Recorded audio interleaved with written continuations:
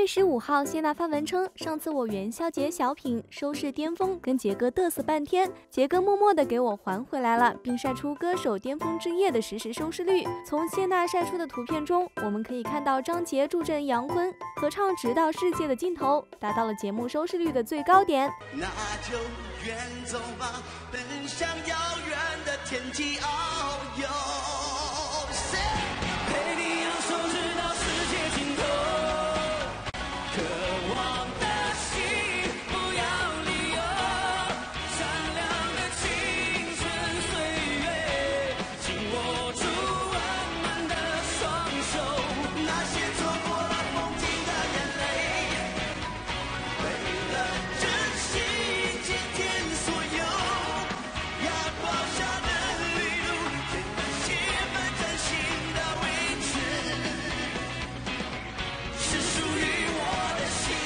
cure.